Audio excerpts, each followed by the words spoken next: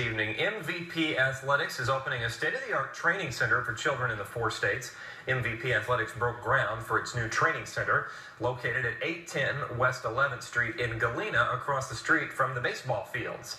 The new facility will be a space for local athletes to train for a variety of different sports. Athletes will learn how hard work pays on and off the field. The new facility will consist of two courts for basketball, volleyball, and indoor soccer. There will also be a facility for softball and baseball that includes a video hitting simulator.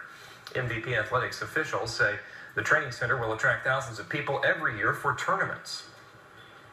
The difference here is going to be culture. So it's going to be what we teach these kids on and off the field about what we talk to the parents about in terms of about being good fans.